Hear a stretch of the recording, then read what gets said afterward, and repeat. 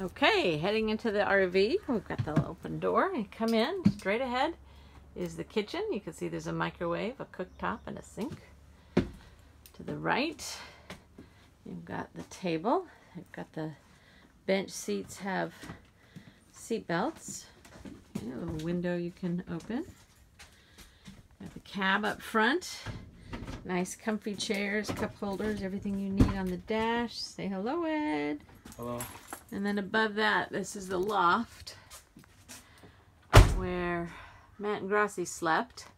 Not apparently the most comfortable. So this bench here uh, apparently has a board under it. And so that sleeps, you know, comes over the gap.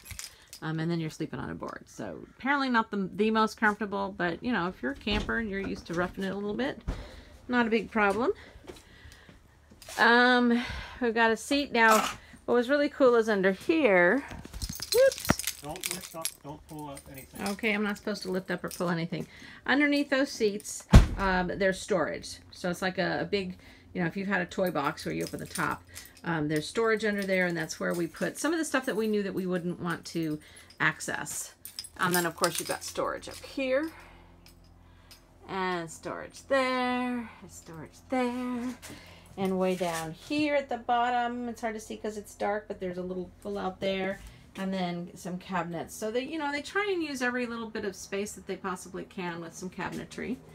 Um, small refrigerator and uh, and freezer. Basically, it, it held everything that we had left in our refrigerator and the food that we had on the trip. We, we didn't eat uh, dinner out at all. We cooked every night. Shower and bathroom in here. Um, so we've got the, you know, some cabinets up there, a sink with a medicine cabinet, and a toilet, and then the shower. So just a small shower. And just kind of fits you right in there. Okay, just take them quick. We all did take showers in here. Uh, and then the master bedroom. So again, um, more cabinetry there. Uh, this one is, I think, uh, drawers, or that one's shelves, and that one is like uh, where you can hang stuff. A little hanger in there.